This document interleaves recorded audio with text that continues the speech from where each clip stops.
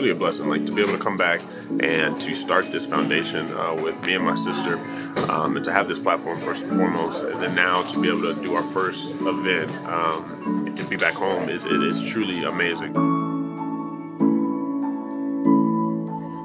Hey, how's it going? Look at that. Man, look at that helmet. That's sweet. Yeah. Sign right? There you go. That's sweet.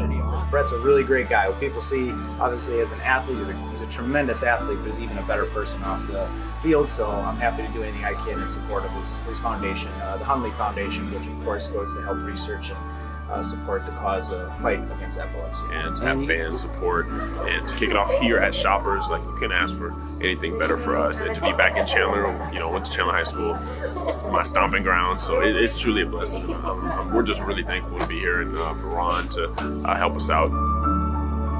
Hey, how's it going? Nice to meet you. Nice to meet you too. Thanks for coming out. Oh, thank you. You, Yeah, you and Larry are my favorite players. Yes. I'm so glad you came to Arizona. I'm so happy to be back home.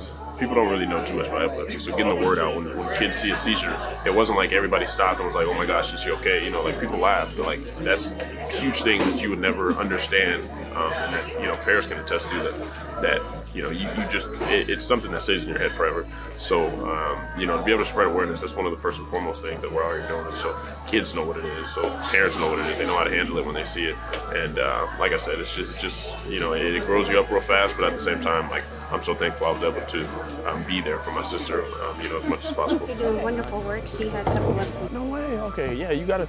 You for sure gotta meet my sister. She flew out here for the. Yeah, she's down there. So, yeah, that's awesome. I'm so happy to, that you guys can make it. No way.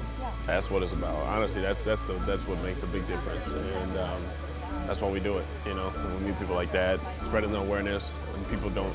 People when people know they're not alone in this fight, you know, I think it, it, it helps a lot. That's why I do it. You know, like you get her talking and opening up about it and talking to other people who have epilepsy. Like she can share her stories, and she has a million. So it's just awesome when she's able to meet, you know, people um, that have, a, you know, you understand each other. Um, so it's it's a real cool opportunity.